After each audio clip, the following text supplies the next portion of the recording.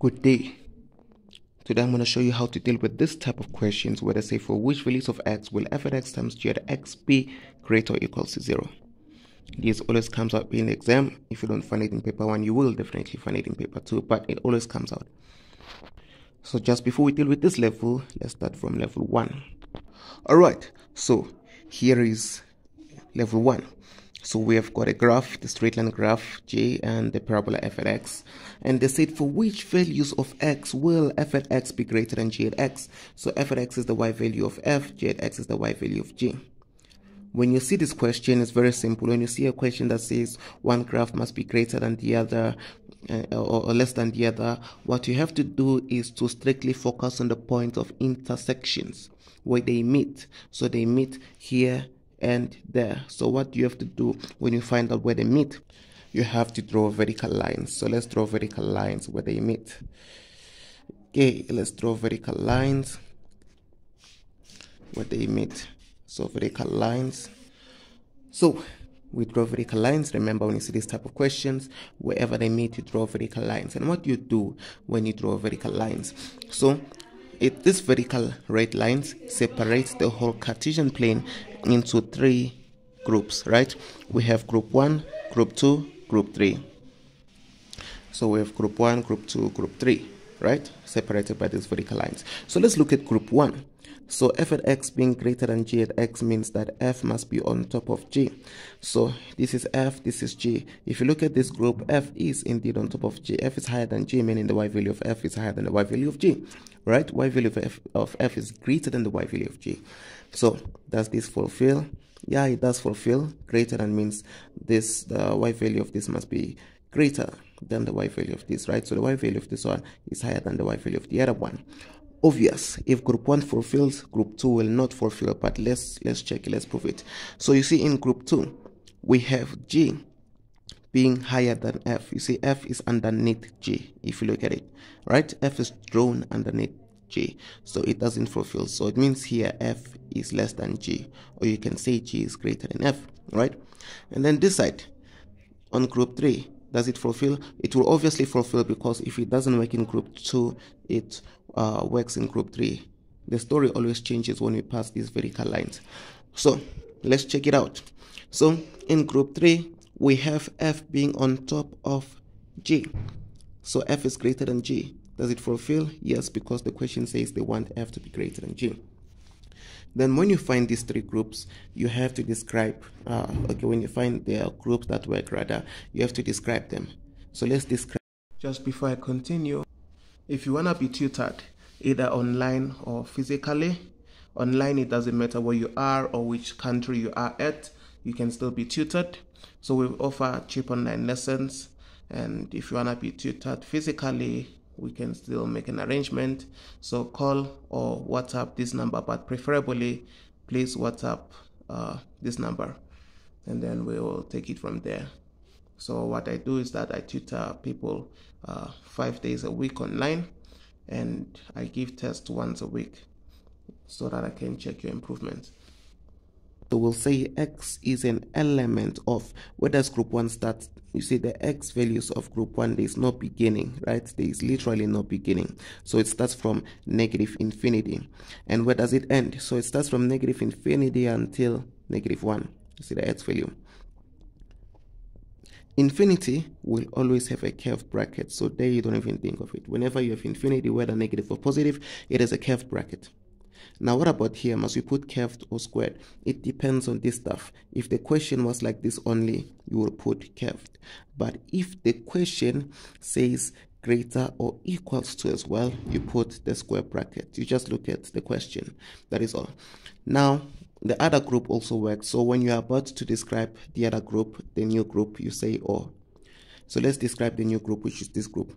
So it starts from what? It starts from 5 until infinity. You see the starting point, always from left to right. Notice I didn't say from negative 2 until infinity. I said from negative infinity until 2, always from left to right. So whenever you're describing groups, always from left to right. So describing group 3, you'll notice it starts from 5 until infinity, right? So it starts from 5, right? And it has no end until infinity. And don't be confused by the y values. Remember, we're describing only the x values. So it starts from 5 until infinity. There's no end, right? So the 5 also has a square because of this stuff. And then infinity, obvious, curved. Alright, so here are two ex other examples. So the set for which values of x will f at x be less than g at x, right? So obvious, we have to look at the point of intersections and then that's where we have to draw our vertical lines. So we'll draw a vertical line over there. Okay, uh,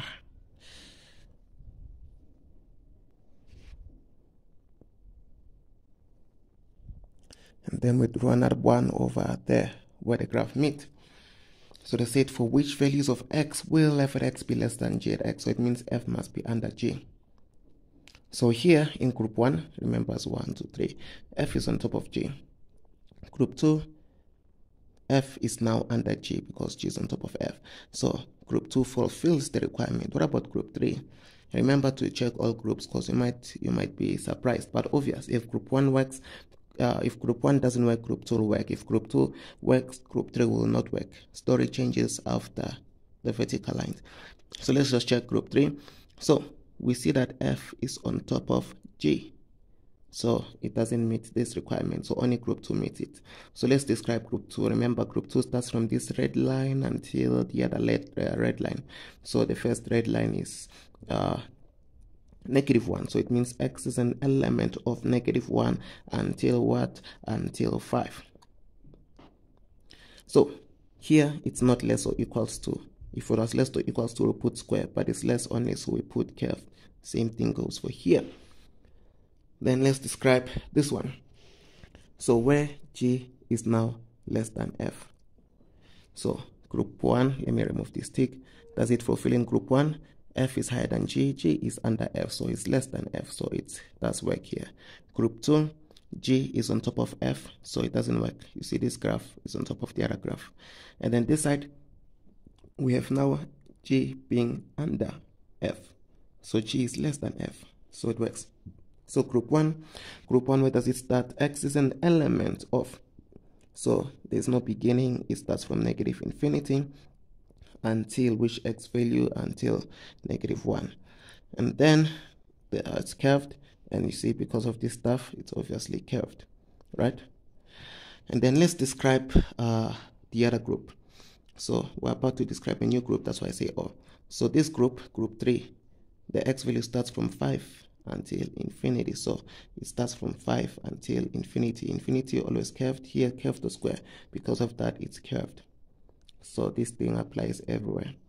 And that's what we have. Let's go to level 2 all right welcome to level 2 so i call the previous one level 1 and this level 2 so you have to cram something. In this case we don't do we don't use the same thing as we did in the previous. In the previous we focus on the point of intersection right? I want you to cram that. Whenever it has to do with uh, one graph you know being greater than the other graph or or maybe one graph being uh, less than one graph being less than the other graph or one graph being greater than the other graph we have to focus on the point of intersections where they meet and draw the lines right but in this case it's different right? I want you to look at level 1 and level 2 level 1 you focused on the point of intersection. But here when you see multiplication stuff you don't focus on the point of intersection. Please cram that. You focus on the x-intercept of each graph. So, for instance, if I start searching, I see an x-intercept here, so I draw a vertical line. And then I continue searching, I see another x-intercept here where the graph touches x. The, uh, it should be of any graph, right? As long as you see an x-intercept, draw a line there. You see, I see another x-intercept where it meets with x. Then I draw a line. So how many groups is this separated into? There is group 1, which has no starting point. There is group 2, right, which is restricted. Group 3, which is restricted. Group 4, which has no end point, right? So now, when you see these type of questions where they say f at x times g at x must be less than 0, less than 0 you see uh, in most textbooks when they say a is positive they don't like writing it in words. They say a is greater than 0 if they say a is negative they write it like this. So when you look at this, this is less than 0, meaning it's negative. So basically what you have to do with the signs for it to be a negative, it has to be positive times negative, right? This one must be positive, this one must be negative, or it must be negative times positive. So this the signs of these two have to be different for it to be negative, right? So it's it's either it must be positive, and negative, or negative and positive. You know that when you multiply different signs, the answer is negative, right? Then let's go to the, the diagram. So basically in the diagram, you're looking at the position of the y values. If it is above, right? If it is above the x-axis, like this one, it is on top of the x-axis, the horizontal line, so it's positive. While this one is below the x-axis, so we know the y value is negative. We don't necessarily need to know their y values. We can already tell that are here obvious. y is positive, this side, y is negative because one is above the horizontal line, the other one is below. So it means this one is positive, this one is negative. Does it fulfill this requirement? Yes, it does, because it has to be different. So group 1 works. Obviously, if group 1 works, group 2 won't, but let's check. In group 2, this one is below the horizontal line, so it's negative. This one is below the horizontal line, so it's also negative. Negative times negative is positive. It won't work, right? So let's check group 3. In group 3, this one is above the line, so it's positive. The other one is below the line, so it's negative. So group 3 works.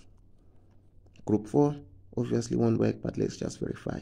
So we have this being positive, right? It is on top of the y-axis, so it's positive.